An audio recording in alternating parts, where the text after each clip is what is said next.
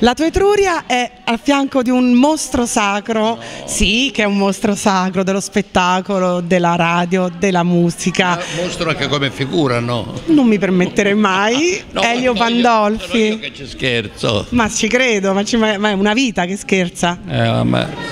Sì, sto scherzando ancora. Infatti. Speriamo di andare avanti con lo scherzo che mi dire sul morale, perché sono pieno di urinoria nonostante l'età che ho, veramente che mi sostiene. E oggi abbiamo scherzato con una favola un po' ironica, un po' cattivella, ma in fondo bella, che è Christmas Carol, dove Elio ha portato anche la sua esperienza, il suo passato. Ci ha raccontato di quando era bambino. Gli anni più belli, io non rammento gli anni più belli con nostalgia, ma li rivivo con tanto entusiasmo, perché sono nato, ho avuto il privilegio di essere nato in una città bella come Roma, ma bella come era prima, linda, pulita, soave, chiara, nitida.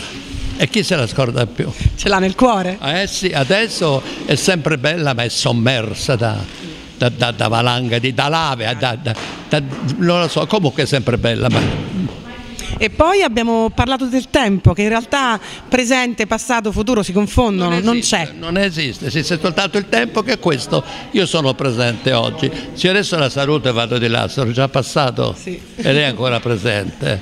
Poi la seguo. Il futuro la porta. No, è, è bella, quella è molto difficile poi. Eh. Io sono- ho letto molto Sant'Agostino, anche se delle volte ho avuto delle difficoltà perché questo è un teologo lo- non indifferente. Comunque, Però è riuscito a trasmetterlo anche, c'erano tanti bambini oggi, quindi è bello. Sì, sì, Della- la bellezza, No, no, la bellezza dell'arte è anche questo. Veramente, veramente, è stata una bella esperienza, poi Viterbo ci avevo già lavorato altre volte, peccato questo tempo così inclemente che a volte ti impedisce di uscire perché c'hai paura di ritornare. Ma non- ce la facciamo tranquillamente, alla fine oggi è stata una Sì, bella giornata. Io penso, mi dica. Mi sembra giusto.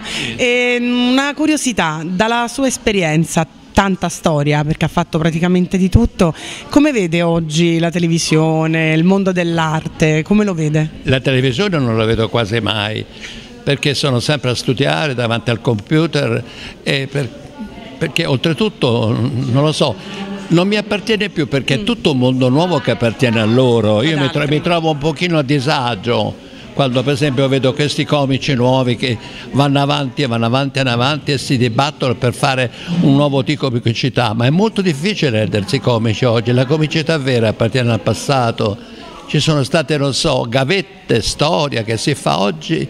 Io, la- io non ho mai veduto perché voglio, restare nel mio io. C'è qualcuno così, ma non, non la vedo più la televisione. Poi non parliamo del telegiornale che c'è da buttare a fiume immediatamente. Non la vedo quasi più. più. Lo sport sì. Ecco, Il calcio sì, sì, qualche cosa vedo, per esempio vedo qualche programma di che mi interessa su Rai 5, ma se no non la vedo, no, no, no. Ho tanto, tanto da vedere mio no, materiale, no, no, no, non mi annoio, non so che cos'è la noia. Ma ci credo e si è visto. Grazie, grazie del dono che ci ha fatto con la sua presenza. Eh, grazie e ci vediamo in un prossimo futuro. Eh, mai mi vedono da lassù, ma non credo no, perché no, non vado in qua. paradiso, io no- sono peccatore, non ho l'infernaggio. Non c'è posto, eh? No, ma si sta più caldi giù. Eh, appunto, con certi diavoli, un bel pollo alla diavola. Troviamo un modo per divertirci sicuramente. Stia bene. Grazie maestro, Prego, grazie, arrivederci. grazie.